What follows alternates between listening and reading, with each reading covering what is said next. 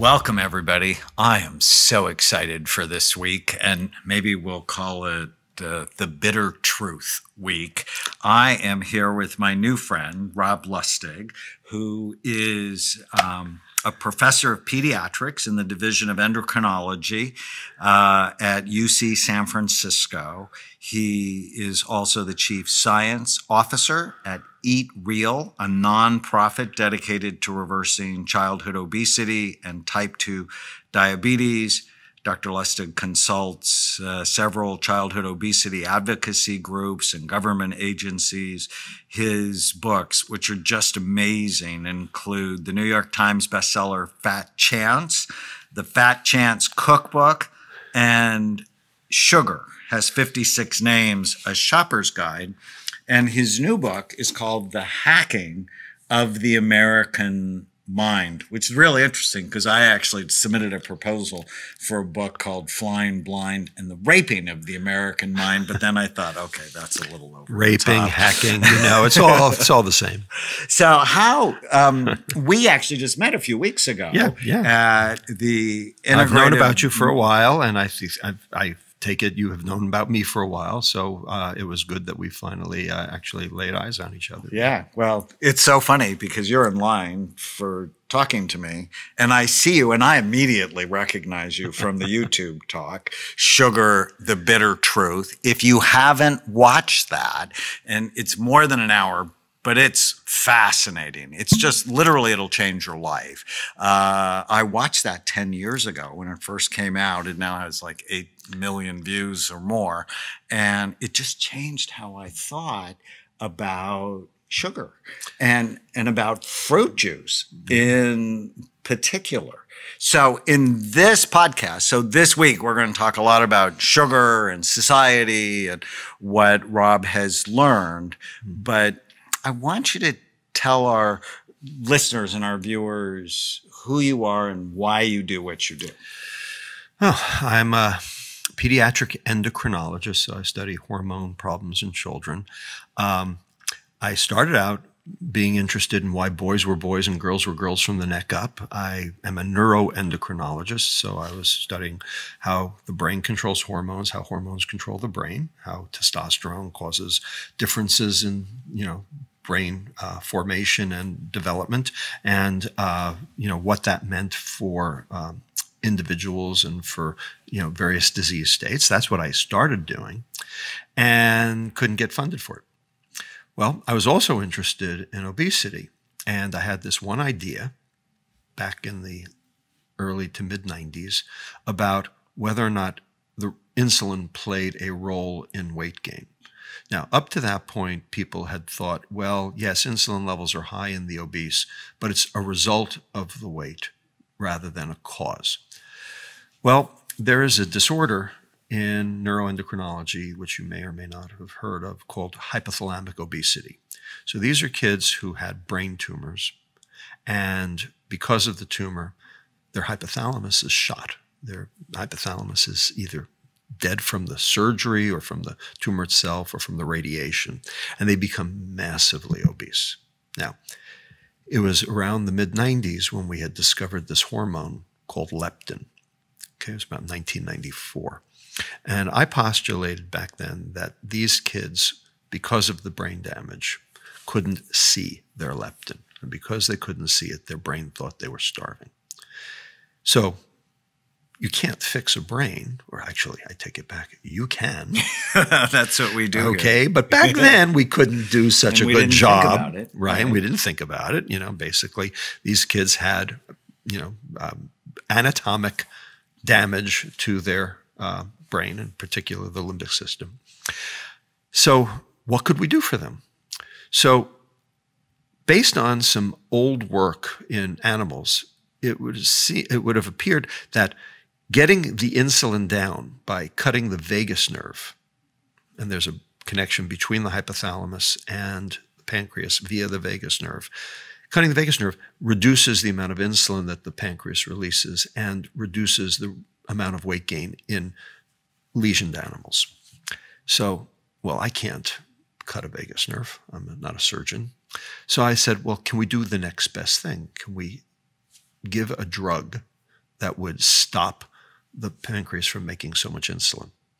So we did that. We did a pilot study where we gave a drug called octreotide, which is usually used to suppress growth hormone secretion from growth hormone secreting tumors of the brain, of the pituitary acromegaly or gigantism. But we instead used it to suppress insulin release at the level of the pancreas.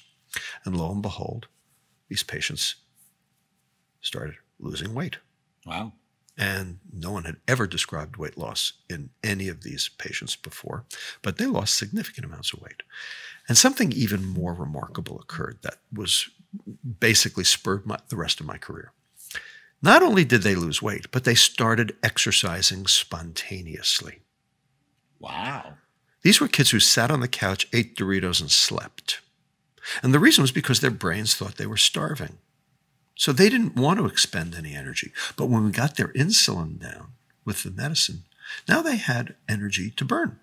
And so they actually changed their lifestyle. So what this proved, and we did it again in a double-blind placebo-controlled trial. We also did it in adults who didn't have brain tumors and found the same phenomenon in a proportion of them. What this proved was that the biochemistry drives the behavior. And this shouldn't be too much of a shock, especially to you. I mean, every thought is a protein phosphorylation. Everything that goes on in our brain is driven by biochemistry, by molecules. Your whole uh, uh, clinic is set up to fix those molecules. Fix the hardware before you fix the software. Right. It's really hard to program a brain that doesn't work right. Exactly. So that's what we did. We fixed the problem where the problem was. We fixed the cause rather than the result. And I have basically taken that on, you know, going forward uh, in all of my work, knowing that ultimately sometimes we're smart enough to be able to figure out the cause, sometimes we're not, but it's always upstream of where you think it is. What we're looking at is the result of a problem rather than the cause of the problem. And you have to treat the cause if you're going to be successful. So, besides a tumor, why do people have high insulin levels? Right. So, that's the big question. Okay. So, tumors, I mean, that's like one in a million. Everyone's hyperinsulinemic today. Everyone's insulin level is two to four times higher than it used to be.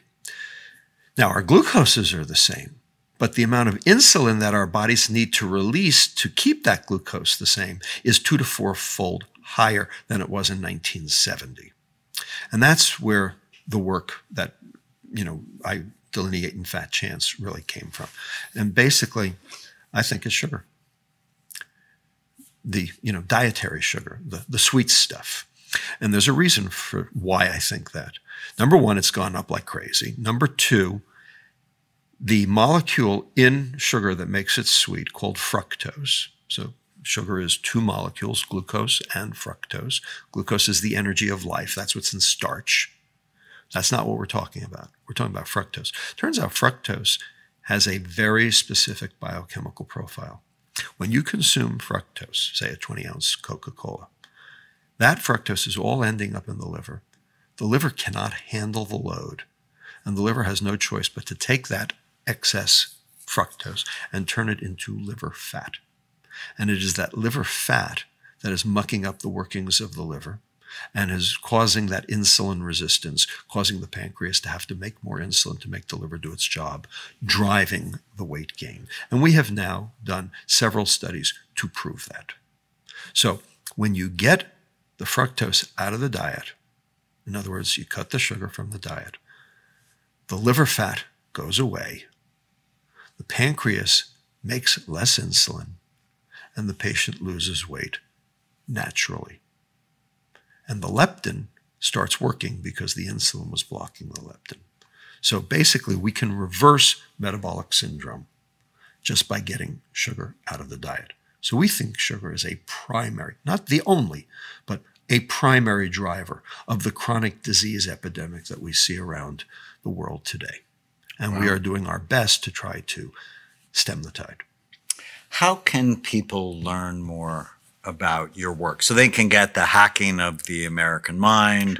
But if, I mean, I want you I mean, because it's just life changing to go to YouTube and just search for the bitter truth, sugar, the bitter truth, with Robert Lustig, uh, and I want you to get your kids to watch it. It's it's and and it's actually fairly detailed Yeah. science, Yeah. but you make it easy to understand I because you're a that. really masterful teacher. Well, thank you. Um, how else can they learn about your work? So, um, I, what I would argue is number one, th- that uh, video is now 10 years old. We have more out that's more recent that I think is actually, uh, you know, more up to date and better. Uh, if you do just a YouTube, you know, v- look on my name, you'll find a whole bunch of them. One's called Fat Chance Fructose 2.0, which I actually think is better, although not as many hits. There's a TED talk I did called Sugar the Elephant in the Kitchen. Um, actually, what I would propose that people do is they take three hours of their time and they watch two movies, and they're both on Netflix. One is called Fed Up, which was produced in 2014. Um, and it tells, it's a documentary that tells the story of how we got to where we are today. And the other is called Sugar Coated, which is a documentary also on Netflix, which tells the story of why we got to where we are today. That is the corporate subterfuge, the fraud, the public relations campaign to exonerate sugar and make us all sick. So when we come back, we're going to talk about sugar and the bitter truth. Stay with us.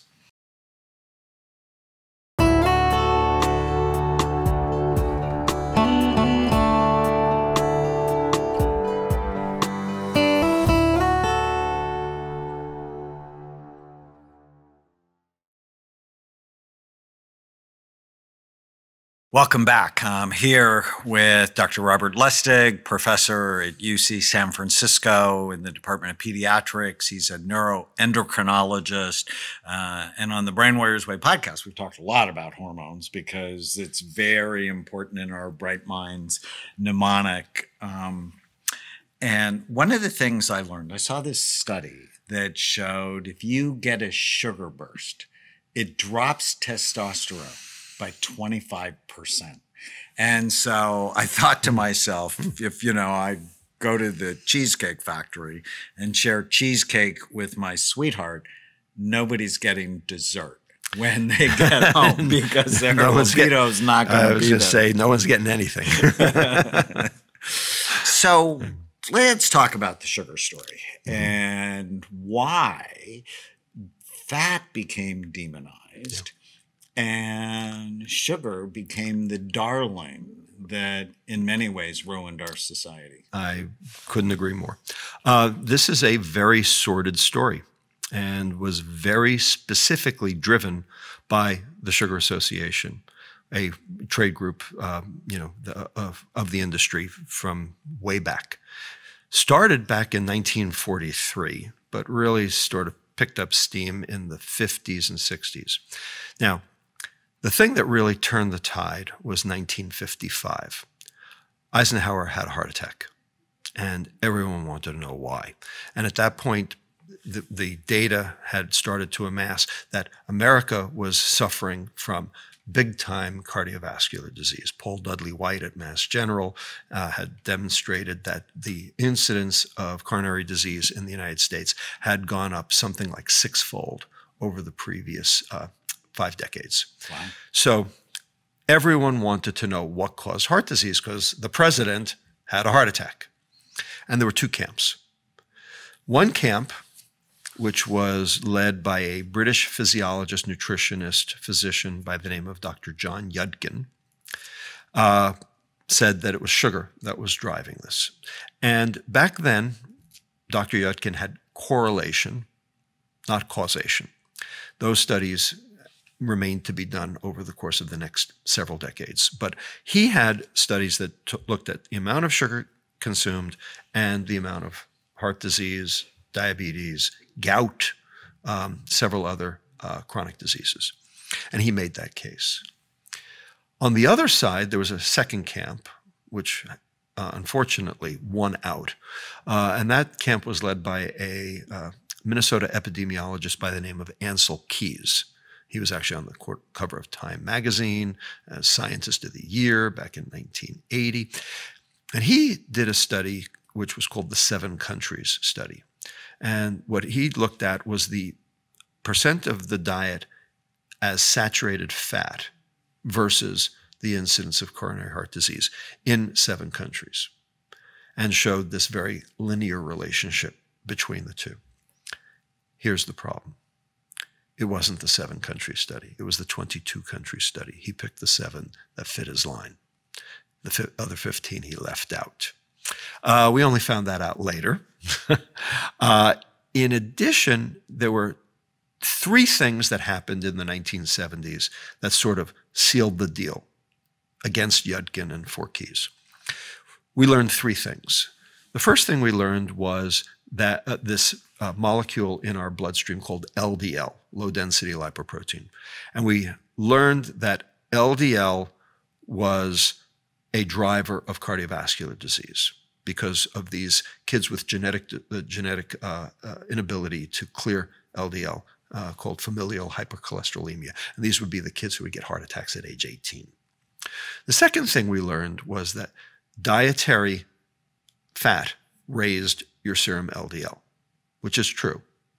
As it turns out, there are two LDLs that raised one, not the other. And it's the one that didn't get raised that causes the heart disease. But that, but when you measure it, you measure both. But so we didn't know just that. so then. people know, LDL is often thought of as A particles and B particles, A the big fluffy ones Right. that are harmless. Right. Basically, be the little demon ones Small that are like shards of glass Yes. that cause That's right. uh, blood vessel damage. Exactly. So we always say LDL is bad cholesterol. It turns out that LDL is actually probably neutral cholesterol in, for the most part.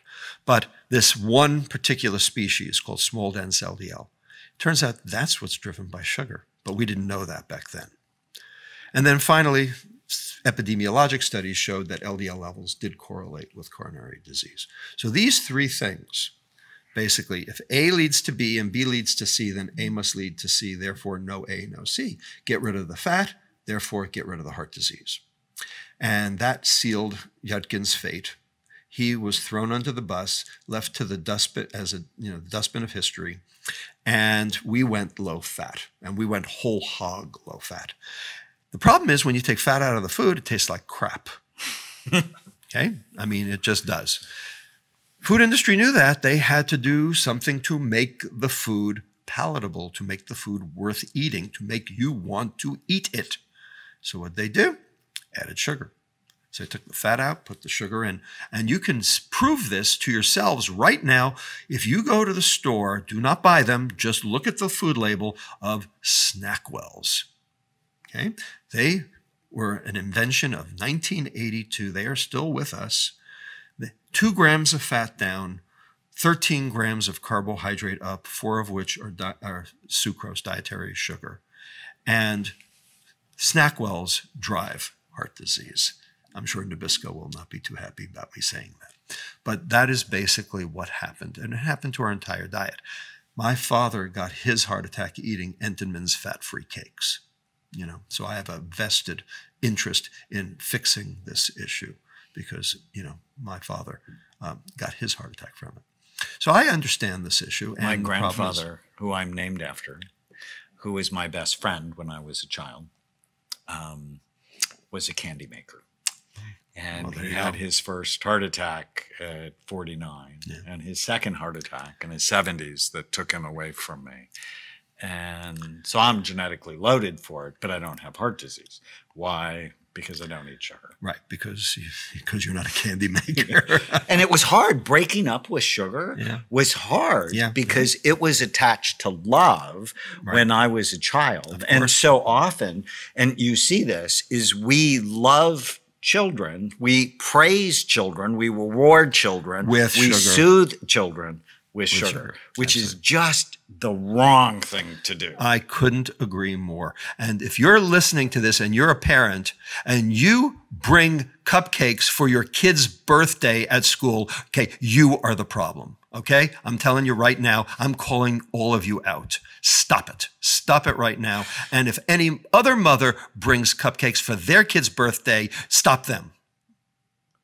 You're going to be a brain warrior general. Okay. I love that. That's decisive. Okay. Um, I mean, you know, why is it from Halloween to New Year's Day, we just are stupid as a society? I mean, why do we celebrate Christ's birth or Thanksgiving Excuse me. by hurting people? Excuse me. Valentine's Day, Memorial Day, Easter. Fourth of July, Easter. I mean, you, you, it it's it's year round. Okay, this is and it's and it's daytime to nighttime. Okay, because what do you feed your kids out there? Breakfast cereal, really? Okay, you want to take a look at that uh, uh, nutrition facts label again? Okay, the 17 most common breakfast cereals for children are all over 40% sugar. 40%. And, And so the highest. Kellogg's Honey Smacks, is 56% sugar. You really want to feed your kid a breakfast cereal that is 56% sugar? I mean, like, who would do that? So let me just have a few more minutes with this one.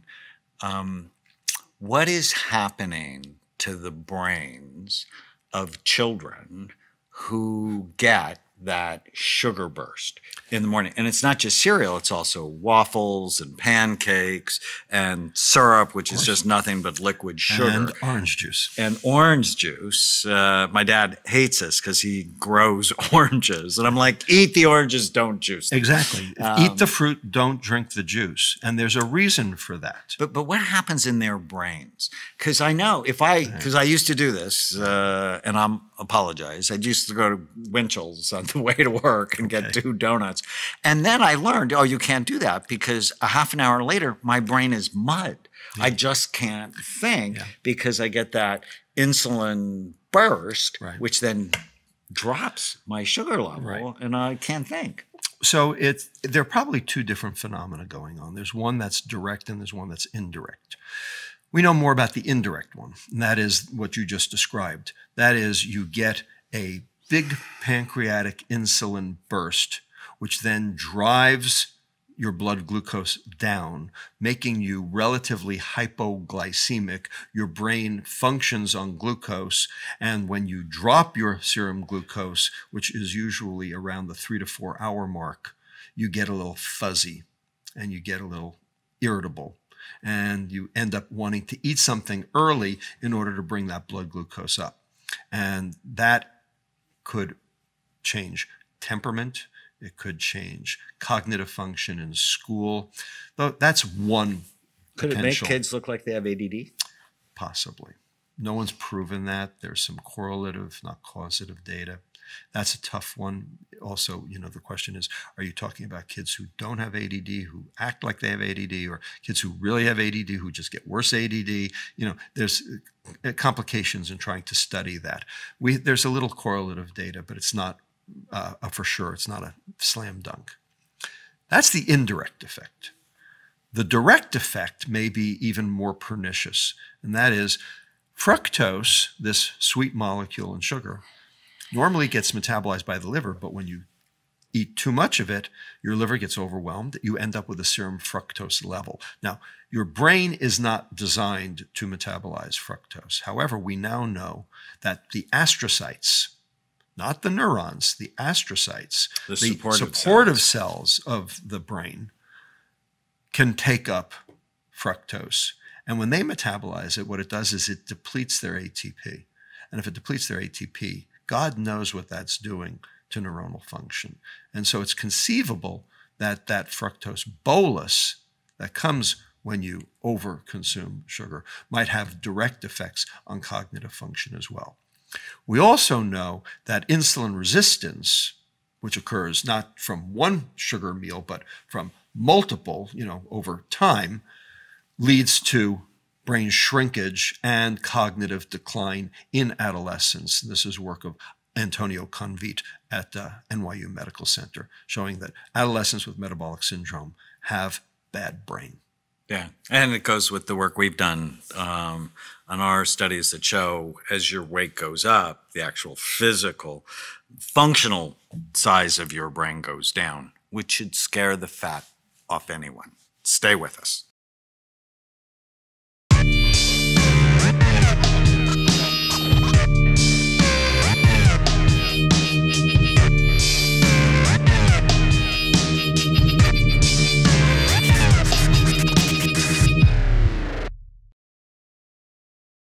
Welcome back. I'm here with Dr. Robert Lustig. Uh, you had talked about um, two Netflix documentaries that people could watch Fed Up and Sugarcoat.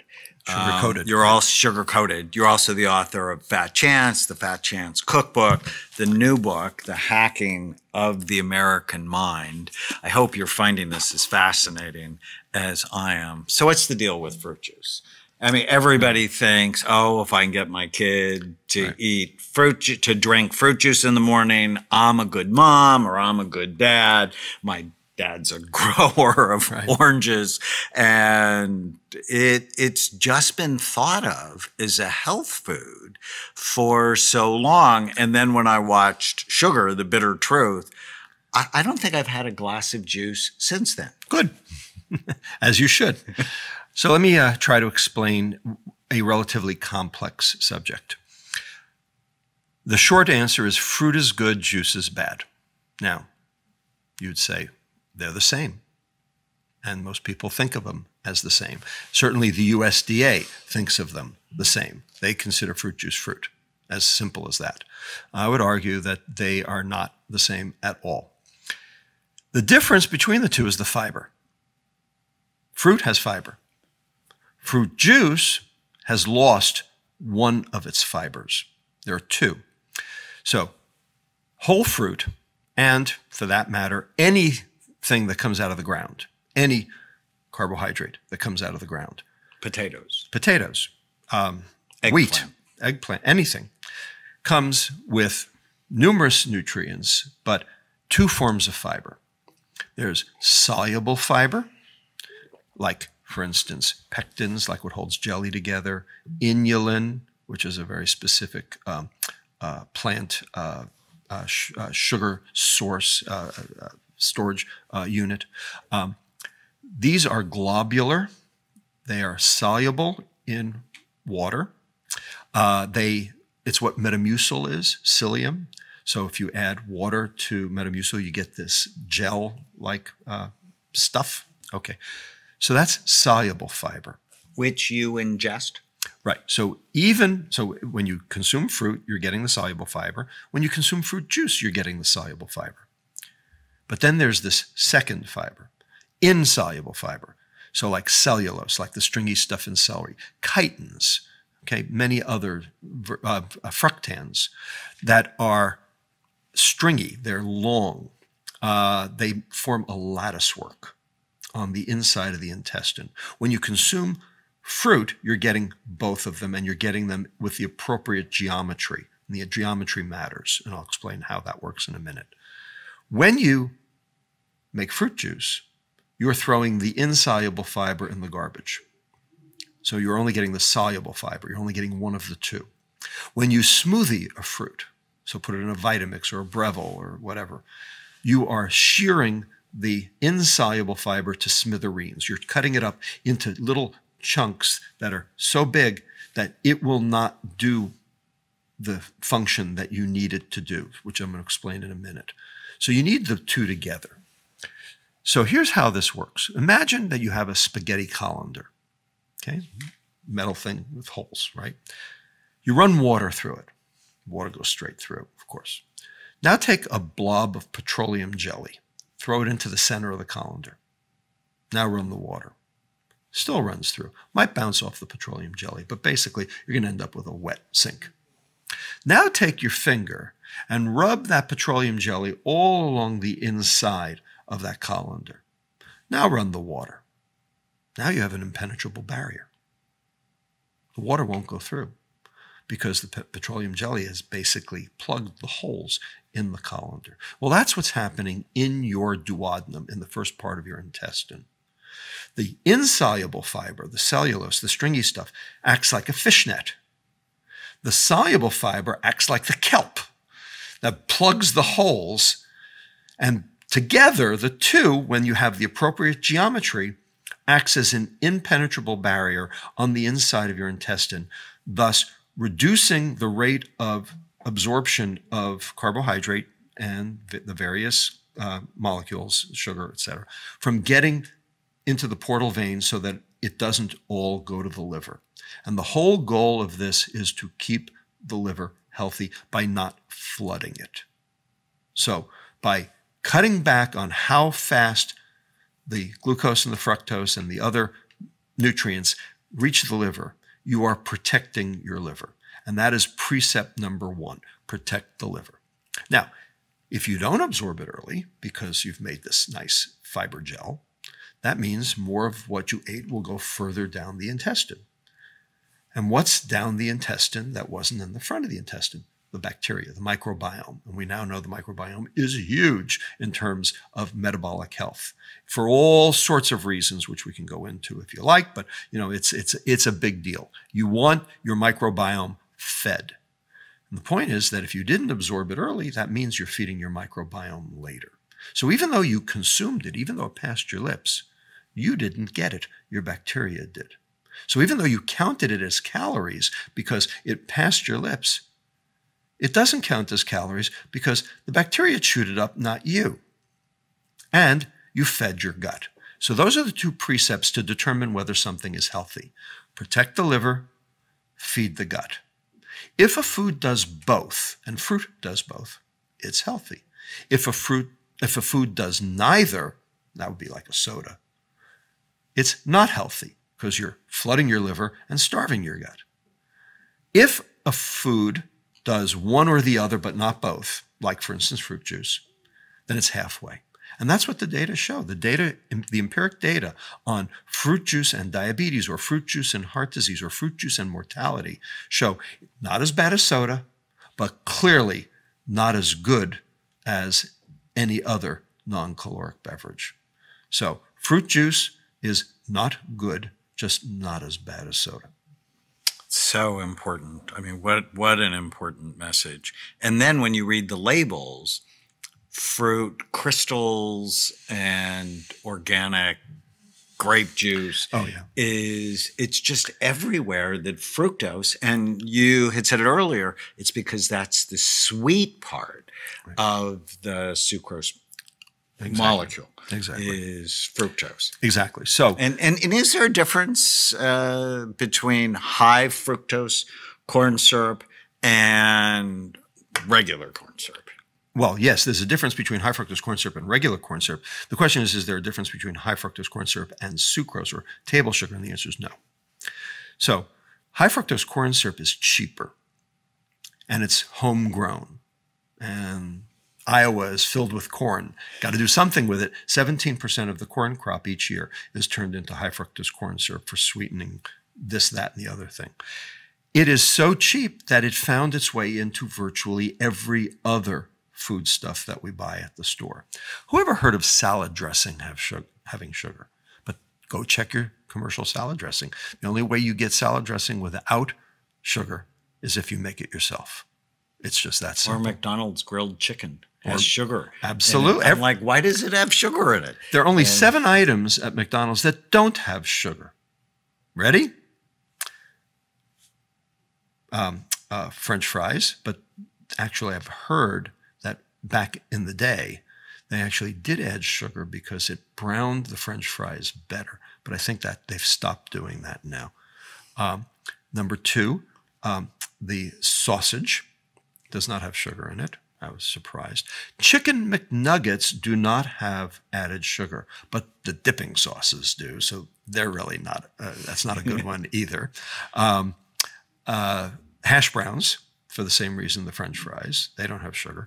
Um, and after that, it's uh, iced tea if you add, if you don't want if you say no sugar, coffee if you don't want sugar, and water. That's it. Okay. Everything else at McDonald's is loaded with added sugar on purpose for their for their reasons, not for yours, because they know when they add it, you buy more.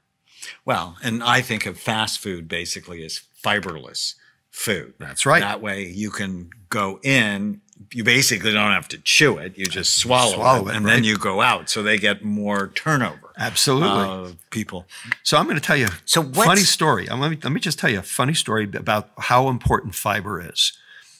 So I live in San Francisco. I have lived there twice. I lived there when I was a fellow back in the early 80s, and then I moved back in 2001. So two separate times. When I went to a Chinese restaurant in San Francisco the first time I was there, every restaurant had brown rice because brown rice was good for you, right? Then I left and I lived in New York and Madison, Wisconsin, and Memphis. When I came back to San Francisco, no restaurant had brown rice, only white rice. Now, when I lived in New York, there were plenty of Chinese restaurants there. They all had brown rice. But when I came back to San Francisco, they'd gotten rid of the brown rice. They only had white rice. Now, why is that if it's healthy for you? I have no idea because in San Francisco, they charge for the rice. And in New York, the rice was free. And the restaurateurs in San Francisco realized when people ordered brown rice, they only ate half a bowl. But when they ordered white rice, they ate two bowls oh, because oh, the fiber was satiating. Whereas in New York, they were perfectly happy for you to have brown rice because it was free. So oh, why so would they want to give you two bowls? So, you know, it's funny along that line, you know, have you ever asked yourself why, when you go to a restaurant, do they give you free bread? And the first thing they ask you is what alcohol beverage can right. I get you? Absolutely. Because both of them lower frontal lobe function. Uh-huh. That bread causes an insulin spike, which mm-hmm. drives serotonin, which drives tryptophan into the brain. Mm-hmm. So it actually makes you happy. Mm-hmm. It's the don't worry, be happy chemical. and so even though you go in and go, I'm not going to order dessert, I'm going to be good, I'm going to stay on my diet, that as soon as you get the bread, the diet's out the window right. and alcohol drops your frontal lobes. Right. So they're very strategic oh, on how to get more money out of your There is no question card. about how strategic they are. They've when, got it down. And they and, and the point is they know and you don't. When we come back, we're going to talk about the hacking of the American mind and what's really going on in our society.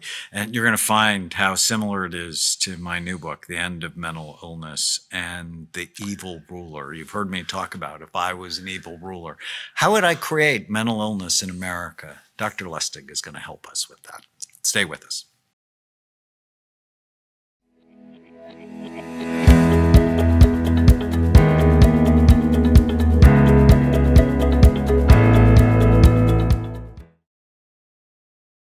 Welcome back. I am here on the Brain Warriors Way podcast with Dr. Robert Lustig. I am so grateful to you oh, and your work. I likewise. Uh, you you have helped me personally, so uh, I I owe you a debt. Well, that is just a joy for me to to share our work with you.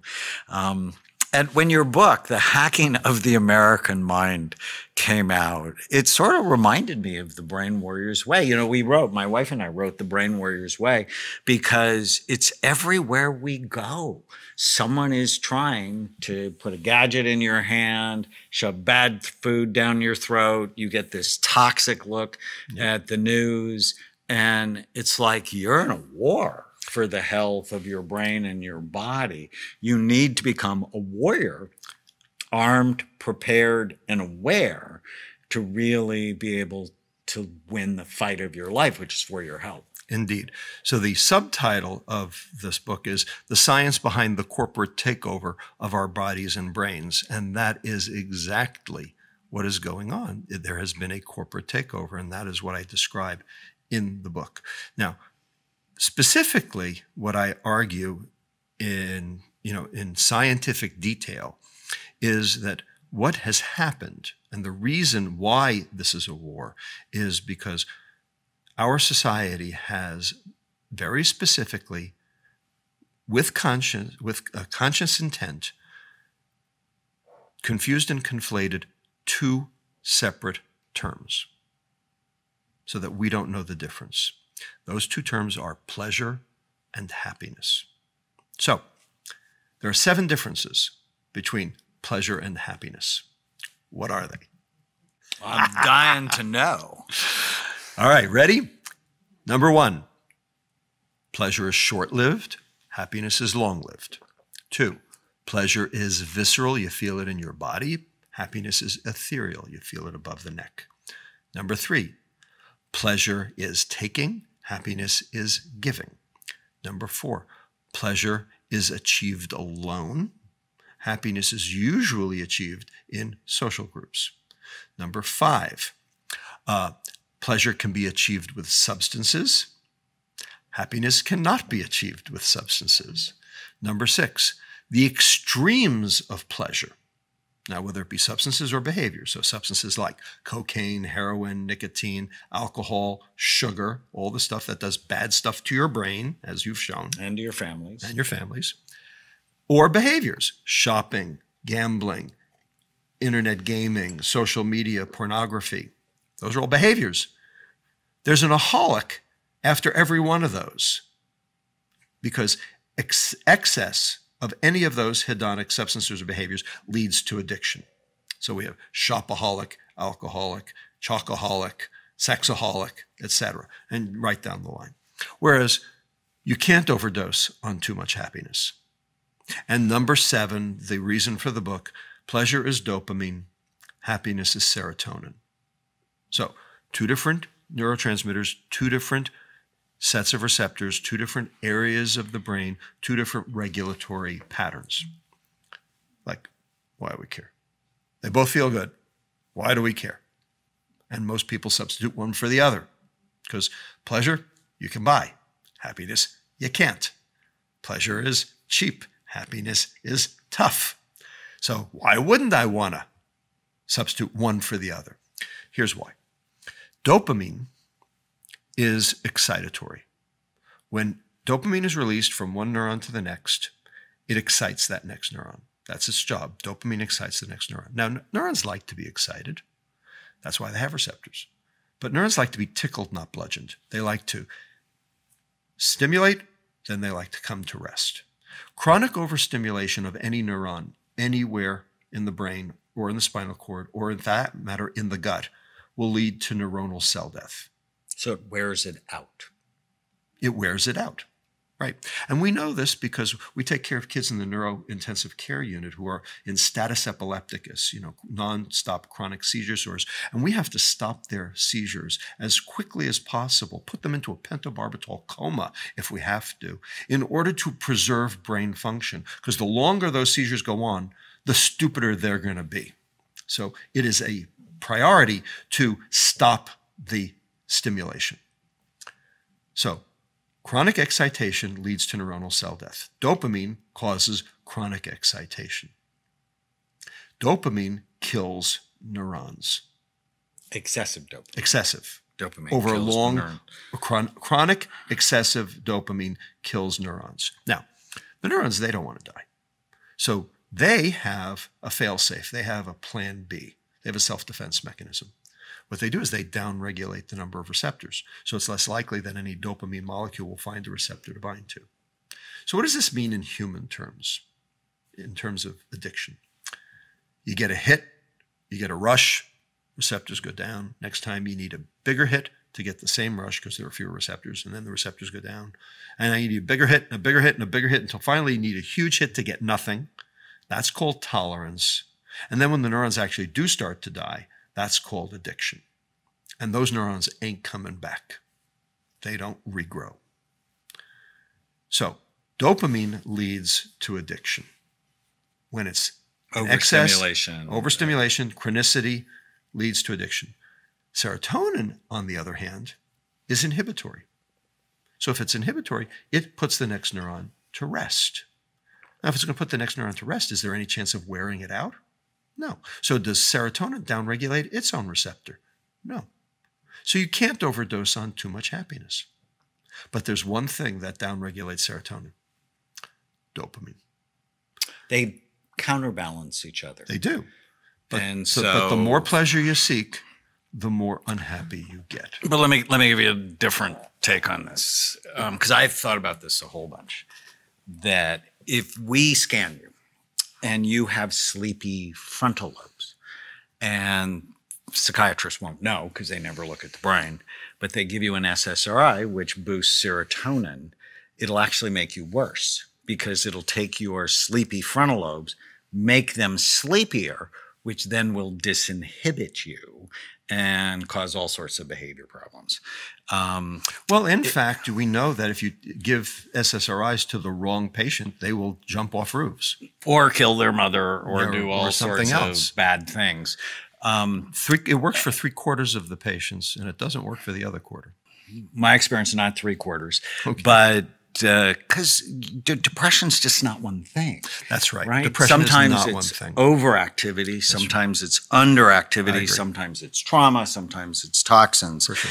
Um, and in my book, Feel Better Fast and Make It Last, I talk about the dopamine drip versus the dopamine dump. Hmm. And I've been blessed to treat a number of uh, young celebrities, and fame is a dopamine hit. Absolutely. When they recognize you, when they want your autograph, when the paparazzi follow you, and, And will over tell you, time, and you know as well as I do, that fame wastes a lot of people. It it does because it wears out their nucleus accumbens. Totally agree. And and the other thing that wears it out is obesity. Mm-hmm. That the people they go after the dopamine hit with the cupcakes that we got after moms for bringing to school, and the more they do it, uh, the more treats, really the less cells for dopamine to feel Right. anything Exactly. at all. And one of our it changes the game. So, you know, ultimately, we have been so plied with sugar that if you tried to get the sugar out of the food, it would taste terrible. And so that maintains and the people level. get withdraw- withdrawal from sugar. And they do. And also the um, T1CR receptor on the tongue for sugar goes down because of all the sugar in all of our food. So you end up needing more sugar to be able to get any sweet taste. So we have basically desensitized our taste buds and our reward center, which basically keeps us coming back for more. And if you can stay off sugar just 10 days, your taste buds begin to come back. They do. And when you eat an orange, it will explode with flavor in your mouth, as opposed to if you're eating a lot of sugar, the orange tastes like nothing to you. And so being a brain warrior is you really do see sugar as the enemy. And we're here, we love to talk about food and loving food that loves you back. That would be good, wouldn't it? so many people are just in a bad relationship with with food. Well, it's easy to get in a good relationship with food. Two words real food. Food that came out of the ground or animals that ate the food that came out of the ground. That's real food. Anything else is processed. If it has a label, it's a warning label. Because real food doesn't have a label, does it? Oh, Because it love doesn't need a label. I love that. In so, addition, if any food has five ingredients or more, leave it at the store because that means it's processed. do you know corn dogs have 29 ingredients? I did. Pop Tarts have 36. Oh, isn't that insane? It's the insanity. Robert Lustig, professor of pediatric endocrinology at UC San Francisco, the author of The Hacking of the American Mind, the science behind the corporate takeover of our bodies and brains. How scary is that? Also in the documentaries Sugar Coated and Fed Up uh, I, I hope you just get his books, look at the documentaries. This is going to arm you, prepare you to win the fight of your life. And what did you learn in this week of podcasts? Um, write it down. Um, put it on any of your social media sites, hashtag Brain Warriors Way podcast. If you want to win a signed copy of the Brain Warriors Way cookbook, leave a review either on Apple or on Brain Warriors Way podcast.com. Also, leave your questions. Thanks so much for being with us. If you're enjoying the Brain Warriors Way podcast, please don't forget to subscribe so you'll always know when there's a new episode. And while you're at it, feel free to give us a review or five star rating, as that helps others find the podcast. If you're considering coming to Amen Clinics, or trying some of the brain healthy supplements from BrainMD, you can use the code podcast10 to get a 10% discount on a full evaluation at amenclinics.com or a 10% discount on all supplements at brainmdhealth.com. For more information, give us a call at 855 978 1363.